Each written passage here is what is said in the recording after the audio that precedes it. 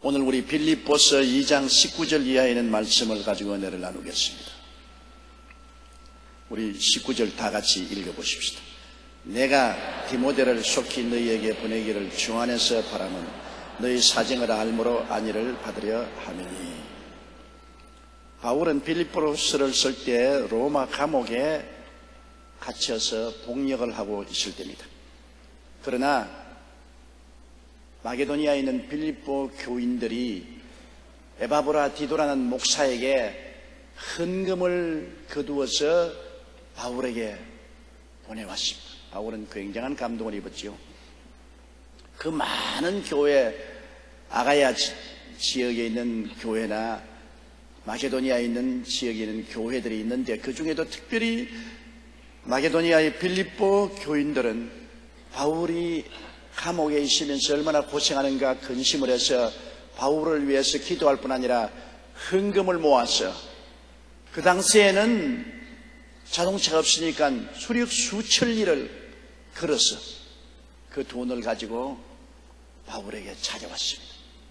그러니 바울이 그 빌립보 교인들에 대해서 굉장한 마음의 감동을 느끼고 사랑을 실감했습니다. 사랑이란 것은 증명되어야지 말로만 해서는 알 수가 없죠.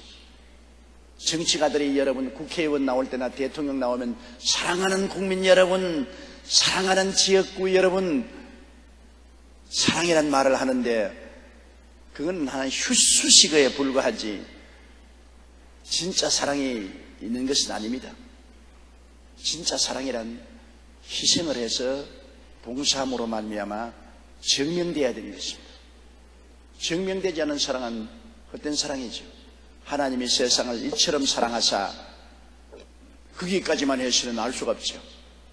하나님의 사랑이 증명인 것은 독생자를 주셨으니 주심으로 사랑이 증명된 것입니다. 예수님이 우리 사랑하셨다. 그냥 그 말만 하면 어떻게 합니까? 증명돼야지. 그 증명이 뭡니까? 몸을 찢고 피를 흘려 목숨을 내어 주셨다. 그러므로 하나님 아버지와 예수님의 사랑은 증명된 사랑인 것입니다. 다른 종교는 교훈을 가르치고 진리를 가르친다고 말합니다. 수양과 도덕을 가르쳤습니다. 그러나 사랑은 증명되지 못했습니다. 여러분, 세계 온갖 성년 군자들 보십시오.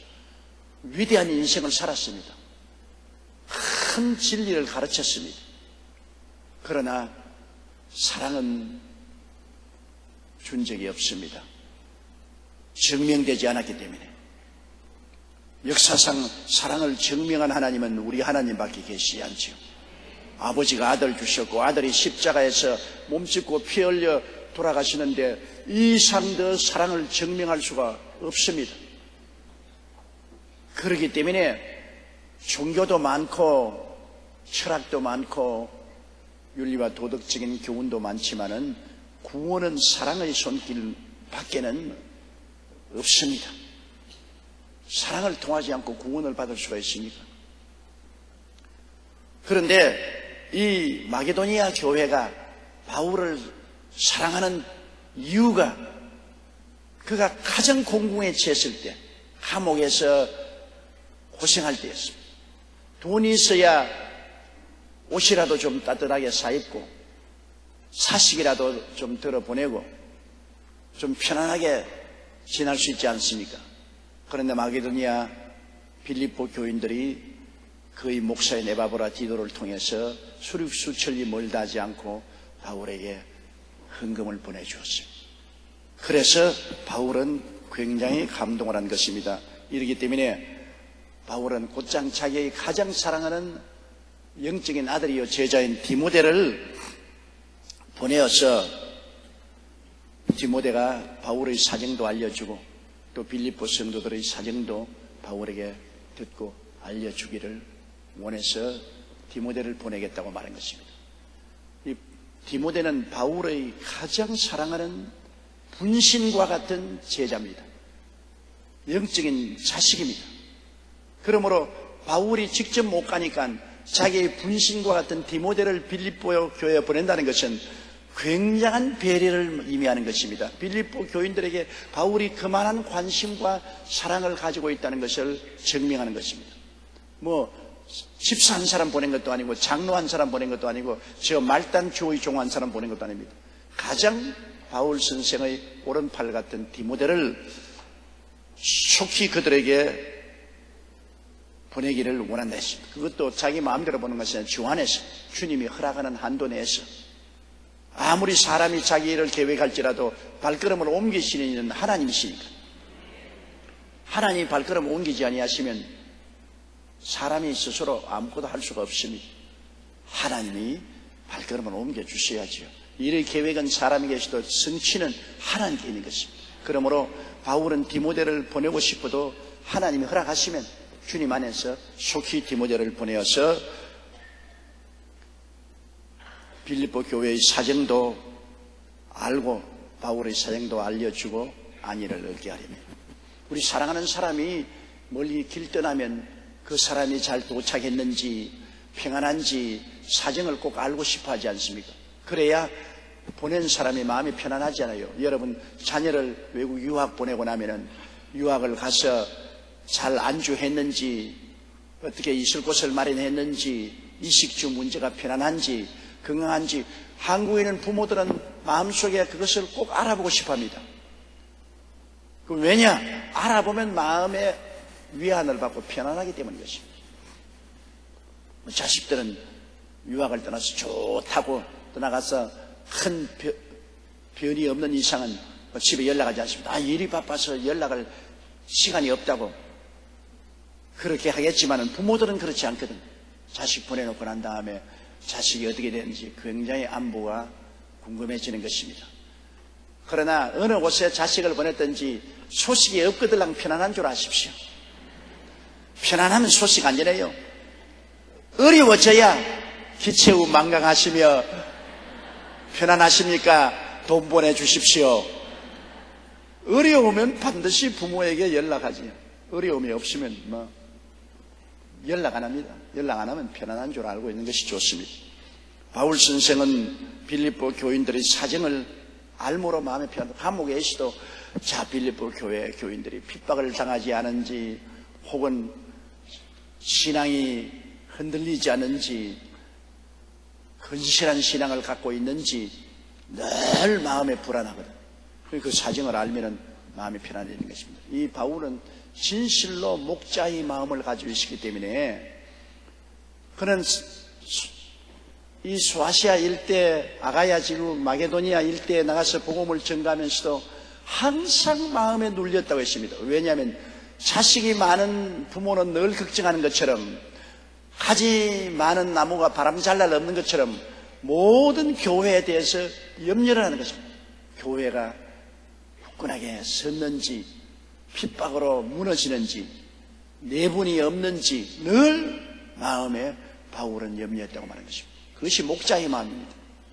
교회 목회를 하고 있으면 교회에 대해서 끊임없이 마음이 눌리는 것입니다. 늘 교회를 위해서 기도하고 성도를 위해서 기도하나 그러나 성도들의 사정과 교회의 사정을 꼭 알고 싶어 하거든요. 저도 해외 여행 가면 매일 교회에 접촉하고 연락을 하고 있는 것입니다. 왜냐하면 교회가 내가 없을 동안에 편안한지 안 한지 알아야 되기 때문에 비서실을 통해서 팩스를 매일같이 보냅니다. 한국의 뉴스도 변하고 우리 교회 사정을 늘 전달해서 교회가 편안한지 안 한지 알아야 마음이 편안하거든요. 그렇지 않으면 혹시 교회에서 무슨 일이 생기지 않았냐? 혹시 성도들의 무슨 어려운 일이 있는가? 마음이 편안하지 않습니다. 눌리거든요. 이 바울의 사정은 그런 목자의 진실한 마음의 사정을 말해준 것입니다. 20절요. 이는 뜻을 같이하여 너희 사정을 진실히 생각할 자가 이밖에 내게 없습니다. 바울과 뜻을 같이해서 빌립보 교회를 관심을 가지고 사랑하는 자가 디모데밖에 없다는 것입니다. 바울에게는 많은 제자가 있었어요. 그러나 많은 제자들이 별로 빌립보 교회에 대해서 관심이 없어요. 뭐 빌립보 교회가 잘 되든 못 되든 깊은 관심을 갖고 있지 않아요. 그러나 디모데만은 바울 선생과 뜻을 같이 하여 빌립보 교회의 사정에 대해서 깊이 관심을 기울이고 기도하고 그들을 돌보려는 마음을 가지고 있다는 것입니다. 바울 선생이 그렇게 많은 제자가 있어도 바울과 뜻을 같이 해서 빌립보에 대한 끊임없는 마음의 부담과 짐을 가지는 사람은 디모데밖에 없다는 것입니다. 그렇기 때문에 바울은 디모데를 보내겠다는 것입니다. 뜻을 같이 한다는 것 굉장히 중요합니다. 함께 짐을 나누어 주고 함께 뜻을 같이 한다. 이거 굉장히 중요합니다.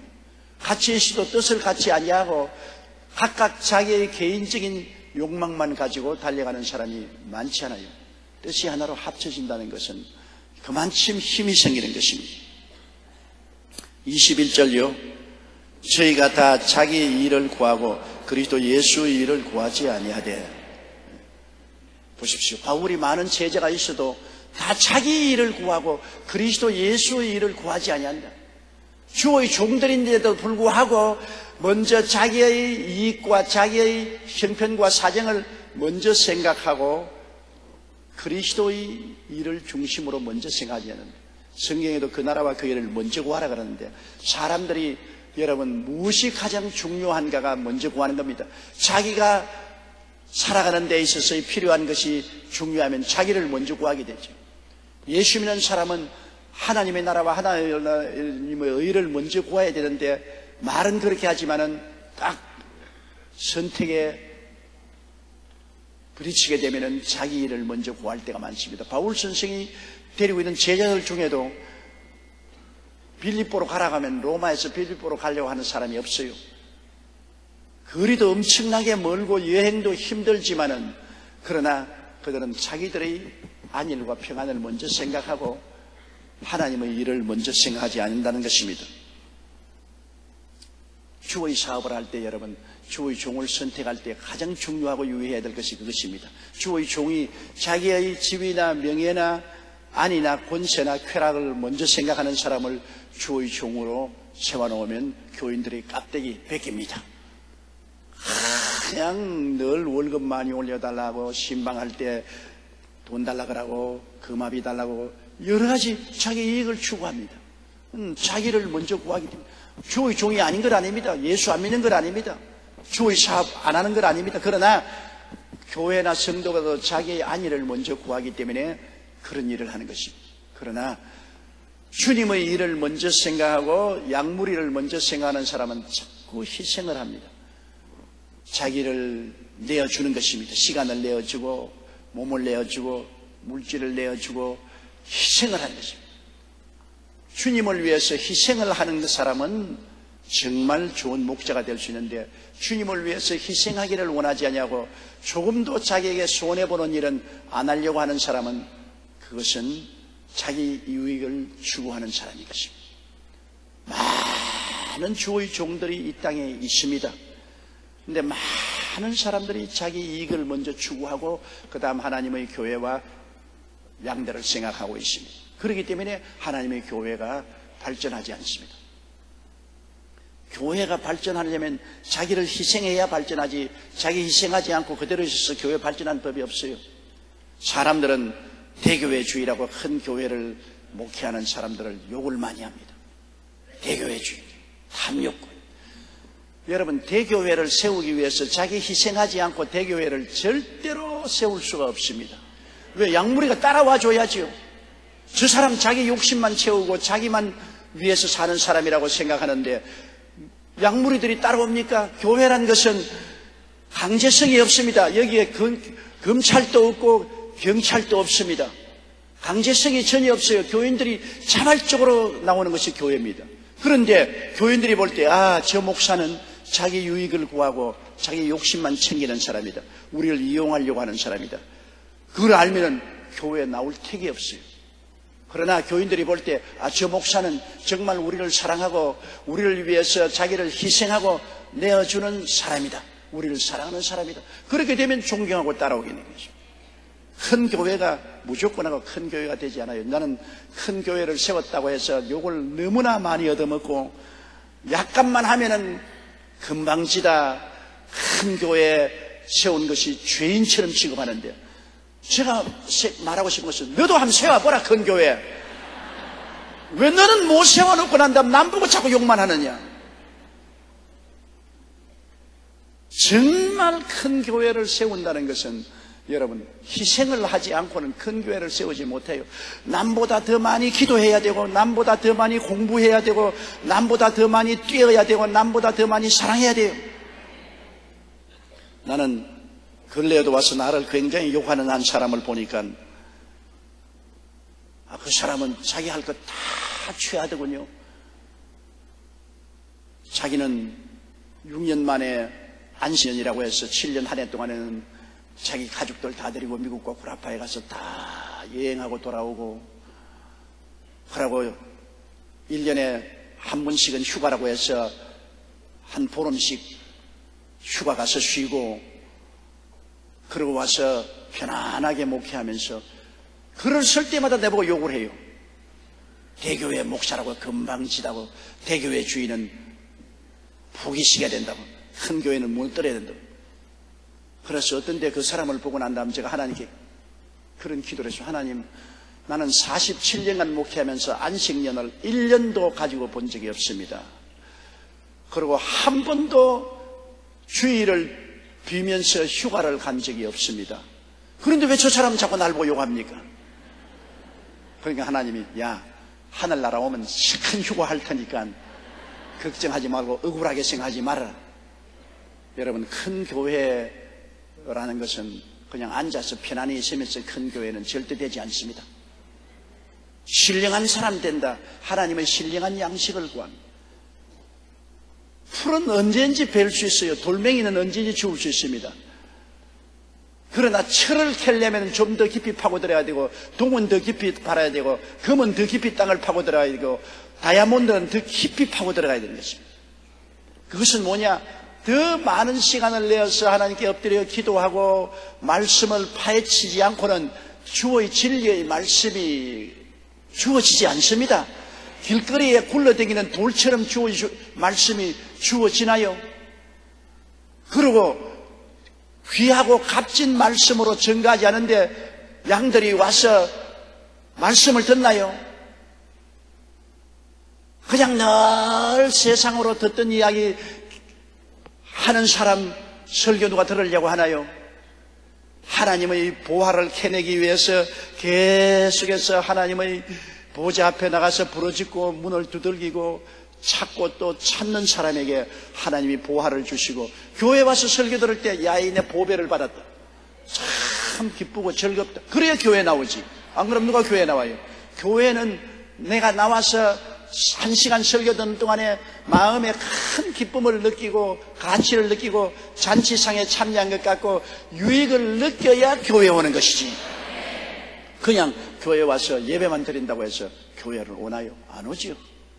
그러므로 여러분 무엇이든지 그 나라와 그 일을 먼저 구하고 하나님의 나라를 위해서 헌신하고 희생을 해야 주의 나라가 왕성해지니 자기의 유익을 구하는 사람은 왕성해지잖아요. 바울 선생과 디모데가 그렇게 소아시아 일대, 마게도니아 일대, 아가야 일대에 복음을 전할 수 있는 것은 자기를 희생했기 때문인 것입니다. 예루살렘에 편안하게 목회하지 아니하고 나가서 희생을 하고 고생을 하고 목숨을 내어 바치고 충성을 했기 때문에 오늘날 복음이 구라파에 전파되고 온 천하에 그리스도의 말씀이 증가하게 된 것입니다. 희생 없는 열매란 절대로 있을 수가 없는 것입니다. 22절요. 디모데의 연단을 너희가 안 하니 자식이 아비에게 함과 같이 나와 함께 복음을 위하여 수고하였느니라.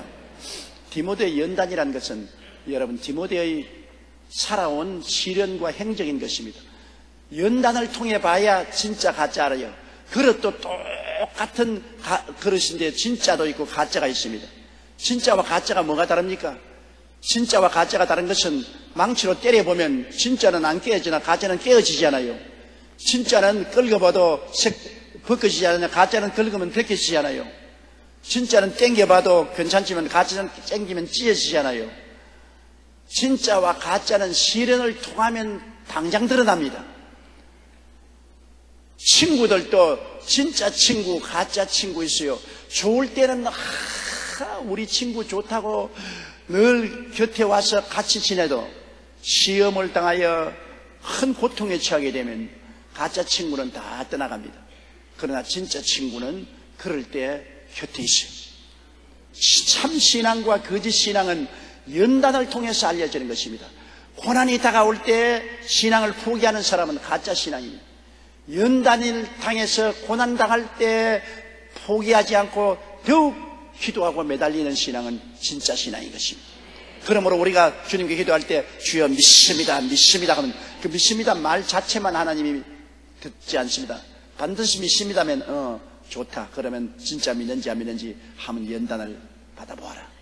전에 어떤 성도가 내게 말, 말하기를 왜 하나님이 나무에 올라가라 올라가라 해도 흔듭니까?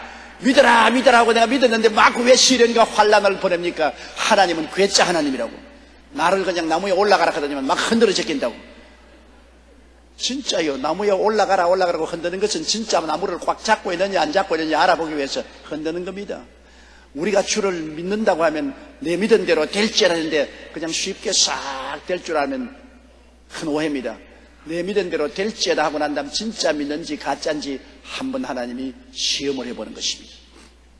믿고 난 다음에 반드시 어려움이 다가와요. 어려움이 다가오고 난 다음 그 어려움을 극복하고 믿는 사람은 하나님이 믿은 대로 될지다고 말하는 것입니다.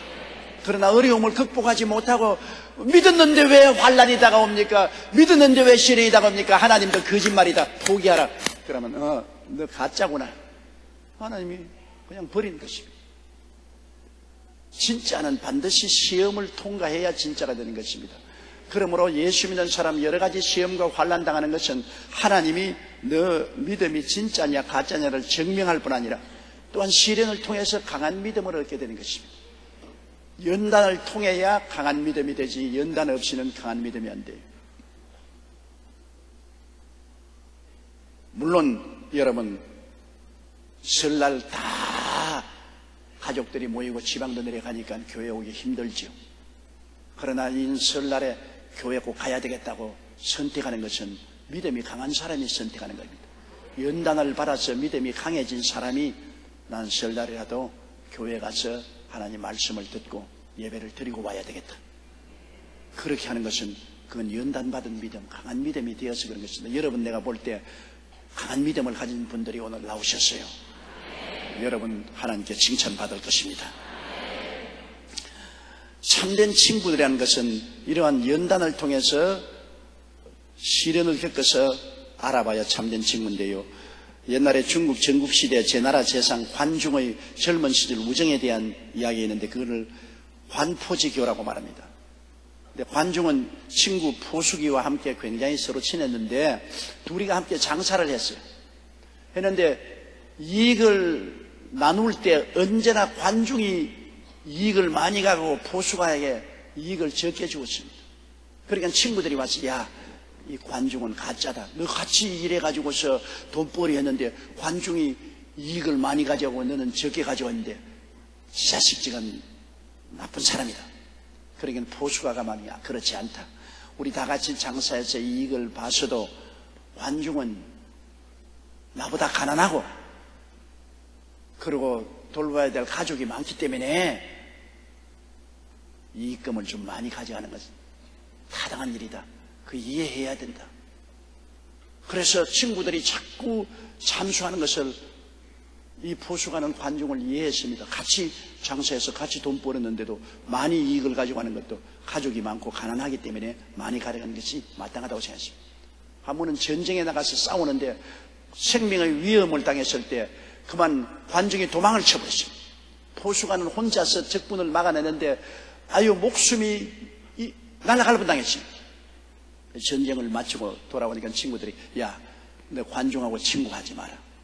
진짜 직접 전쟁할 때 말이야 같이 죽도록 마지막 싸워야지 어려우니까 자기는 도망을 쳐버리고 너만 혼자 싸우게 해서 너 죽을 뻔한 당했냐 그럴 때 보수가 하는 말이 안 그렇다 관중이 도망을 친 것은 늙은 어머님이 계시기 때문에 어머님을 섬겨야 되겠으므로 목숨을 죽으면 안 되겠다고 도망을 친 것이지 나를 버리려고 도망친 것이 아니다.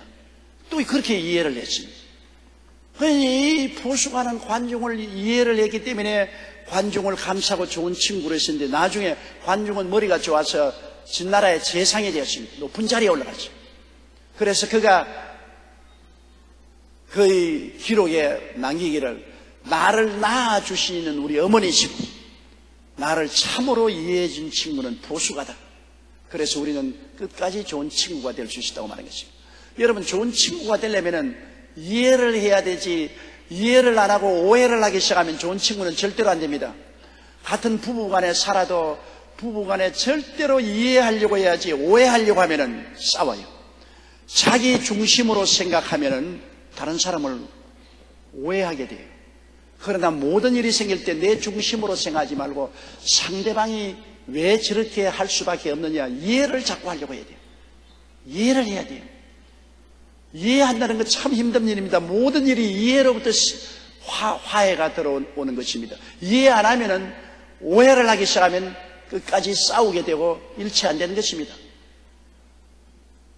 우리는 이해하려고 애를 써야 되는데 왜냐? 하나님이 우리를 이해하지 않았었으면 우리 벌써 죽었어요. 우리의 불의하고 추악하고 더러운 것을 우리 하나님께서는 우리 육체의 연약함을 이해하시고 끝까지 참으시고 또 용서하시고 또 용서하시고 용납하시기 때문에 오늘 우리 살아있는 것이지요. 하나님이 우리 이해 안 하시면 우리가 하나님 앞에 벌써 벌받아 죽었을 거라는 것입니다. 더구나 가정생활에는 부부간에는 이해해야 됩니다. 남자가 다르고 여자 다르지 않습니다. 남남끼리 모였는데 성격도 다르고 경험도 다르고 교육도 다르고 모든 것이 다릅니다. 그 다른 것을 내 표준에 의해서 판단하면은 끝까지 대결될 수밖에 없죠. 내 표준에 의해서 판단하지 말고 상대방의 처지에 서서 무엇이든지 생각해 보려고 애를 써야 되는 것입니다. 그래서 이 포성하는 관중을 자기 입장에 서지 않고 자꾸 관중의 입장에 서서 받아 어, 이익금을 많이 가져오는 것은 가난하고 가족이 많기 때문에 그렇다. 어, 전쟁에 도망친 것은 늙은 어머니가 계시기 때문에 어머니 보양하려고 사, 도망을 친 것이다. 그렇게 자꾸 이해하니까 서로 친구가 되죠. 아, 저 자식 똑같이 장사했는데 왜 지만 많이 이익금을 가져가느냐? 나쁜 놈, 도둑놈 아니가. 그러면 뭐 친구 끝났죠. 전쟁하다가 둘이 가다 목숨이 경각에 달린데 나를 버리고 지만 도망쳐 나쁜 놈의 새끼. 니잘 되는가 보자. 그러면 뭐, 뭐안 되는 것이죠. 이해한다는 것 굉장히 중요합니다. 이것을 늘 실천하면 여러분 우리가 좋은 친구로서 살아갈 수가 있는 것입니다.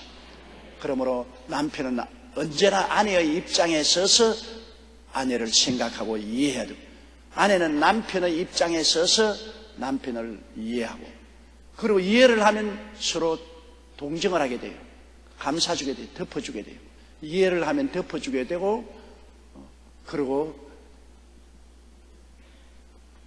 인내하게 참을 수 있고 사랑할 수 있어요. 이해를 못하면은 까발리고 핥히고 짓밟고 서로 헤어질 수밖에 없어요. 부부간도 서로 이해를 해야 부부간에 행복하게 살아갈 수 있고 친구는 또 친구대로 서로 이해를 하려고 애를 많이 써야 됩니다. 상대를 상대편에 서서 이해하려고 자꾸 애를 써야지 오해를 해서 파헤치기 시작하면 친구가 되지 못하죠. 그러므로 디모데는 연단을 통해서 증명이 되었습니다. 어려운 일을 당할 때 다른 사람들은 바울을 떠나갔으나 디모데는 어려운 일을 당할 때 끝까지 바울 편에 서서 같이 따라 붙였다. 끝까지 같이 따라 붙였다. 그래서 연단을 통해서 바울 선생은 디모데는 내 자식 같다. 자식이 부모를 섬김 같이 디모데는 나를 섬겼다. 나는 오늘 이것을 읽으면서 설교 준비하려고 읽으면서 속으로 웃었습니다. 요 사이 자식이 부모 따르는 별로 없어요. 자식이 부모를 따를 때는 부모가 부자고 돈이 많으면 따르죠. 상속받으려고. 그렇지 않고 자식이 손해 날 것 같으면 부모를 따르지 않아요. 나는 최근에 이야기를 읽었는데 참 재미있는 실화를 보았습니다. 어머님이 치매에 걸렸어요. 그래가지고서 대소변을 가리지 못하고 밤인지 낮인지 모르고 자식 얼굴도 몰라봅니다. 그러니까 자식들이 다 미워하는 거예요. 다 어머니를 안 보려 하는 거예요. 대소변 받아내기 싫어하니까. 그래서 둘째 집에 가서 쫓겨나고 셋째 집에 가서 쫓겨나고 넷째 집에 가서 쫓겨나고 다섯째 집에 가서 쫓겨나고 어머니가 갈 데가 없어요. 그런데 그래도 맏며느리가 좋다고 맏며느리가 다갈데올데 없는 어머니를 집에서 모시고 그리고 대소변 받아내고 어머니를 돌봐줬습니다. 하루는 날이 따뜻한 봄날에 마루에 앉아서 그 치매에 걸린 어머니 어깨를 이렇게 만져주고 있어요. 어깨를 이렇게 만져주고 치매에 걸린 어머니가 어 저기 저기 저기 마당을 보고 저기 저기 저기 아이고 어머니 뭐가 저깁니까? 저기를 파면 뭐가 나온다. 저기를 파면 뭐가 나온다. 그러니까 옆에 듣던 사람들이 또 헛거미가 집혔다. 또 헛소리한다. 그러나 어머니가 눈을 내려 저기 저기 저기 마당 저기를 저기를 파면 무엇이 나온다. 저기를 파면 무엇이 거기에 동서들도 있었고 다른 사람들도 전부 다 깔깔 웃고 어머니가 완전히 돌았다고 그랬습니다. 그런데 맏며느리는 그 말이 귀에 담아들었습니다. 왜 어머니를 사랑하고 어머니를 돌봐주기. 그런데 사업이 망했어요. 남편이 망해가지고서. 완전히 빈털터리가 되고 살기가 굉장히 힘들어졌습니다. 그러니까 어머니 말이 자꾸 기억이 나는데 어머니가 세상을 떠서 무덤에 장사를 지냈어요. 어머니 생각이 나서 그 마당을 이제 파보기 시작하는 겁니다. 부칼을 가지고 와서 막 마당을 파요. 판이 뭐가 나와야 말을 하죠. 그런데 할 수 없어 집안이 가난해지니까 그 마당에 누가 옆에 있는 부잣집이 거기에다가 주차장을 만들면 돈을 좀 주겠다 그래요. 그래 남편이 쉽게 아, 주차장 만들어라고 세를 좀 받겠다고. 그래서 공사하는 일꾼들이 와서 그 주차장 만들기 위해서 아스팔트를 깔라고 땅을 파는데 그 맏며느리가 떠나지 않고 곁에 있습니다. 왜냐하면 술을 사와가지고서 일꾼들에게 술을 마시게 하고 빨래해서 넣는 것처럼 변명을 만들어서 주차장 그 파는 데 지키고 있습니다. 한참 빠르니 어 여기 자기 그릇이 하나 있다. 부인이 벼락같이 뛰어가서 확 자기 그릇을 쥐었어요. 쥐어서 뛰어와가 벌벌 떨면서 그것도 방 안에 들어가지 못하고 화장실에 들어가서 문을 잠그고 열어보니까 이런 금덩어리가 다섯 개가 들어있어요. 그 어려운데 이 금덩어리가 다섯 개, 아, 열 개나 들어있어요. 그래서 얼마나 그 시어머니에게 감사를 하고 그 금덩어리 세 개는 숨기고 일곱 개를 가지고 남편에게 사업에 서라고 주었습니다. 남편도 너무너무 어머니 감사하다고. 그러니까 그 형제들과 시누이들이 시동생들 뭐 다 와가지고 세상에 어머니가 그렇게 고약할 수가 어디 있느냐 그 숨긴 걸 갖다가 어떻게 만화들에게만 가르쳐주고 우리에게는 안 가르쳐줬냐? 자기들은 부모 안 생겼으니까. 치매에 걸렸다고 다 있는 데서 저기 저기 팔아 저기 팔아 걔도 다 웃었는데 그 맏며느리는 그걸 얻었어요. 그러니까 사업에 다시 일어날 수 있는 기회를 얻었는데 너무나 고마워서 어머니 무덤에 부부간에 절을 하러 갔는데 그 부인이 그 무덤에 꿇어 앉아서 어머니 너무나 감사해요. 이 어려운데 금덩어리 열 개를 주어서 남편도 어? 열 개? 왜 내게 일곱 개만 되는 아 그만 말 잘못해가지고서 숨겨놓은 세 개까지 남편에게 뺏겼다고 그랬어요. 그러나 이 어려울 때 부모를 잘 봤더니까 치매에 걸린 어머니라도 마지막 가기 전에 그 착한 며느리에게 저기 땅 파보라고 갔거든. 그 어머니는 원래 시아버지, 시어머니가 부자여서 재산을 많이 남겨줬는데 그것을 다 청산해가지고 서 금을 만들어가지고 서 필요한 때 쓰려고 몰래 몰래 해서 마당에 파묻어 놨어.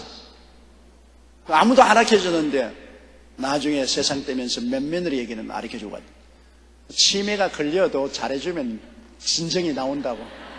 그러므로 치매에 걸린 부모라도 잘 받들라고.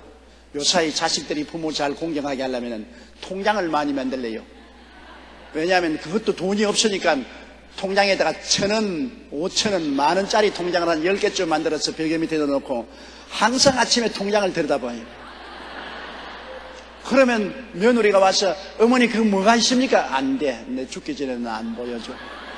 항상 벽에 밑에 넣고 자고 언제나 밖에 나갈 때는 품에 끼고 가면 며느리들이 야 저거 굉장한 게 들은가 보다. 언제나 나에게 잘하는 며느리에게 이거 준다. 그러면 죽을 때까지 충성을 다하고 열심을 섬기고 나중에 죽은 후에 통장 열어보니까 다 합쳐도 만 원도 안 된.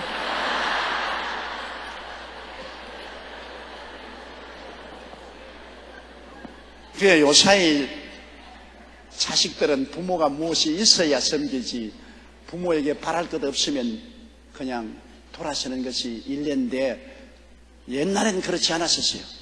옛날엔 정말 어렵고 고통스러워도 부모를 잘 섬기는 그러한 미풍양속에 있었습니다. 요사이 우리 한국의 효가 사라졌어요. 우리 한국에 근본적으로 윤리와 도덕을 세우려면 효를 먼저 가르쳐야 됩니다. 부모를 잘 받들고 섬겨야 됩니다. 성경에는 내 부모를 공경하라. 그러면 네가 세상에서 잘 되고 장수한다 그랬어.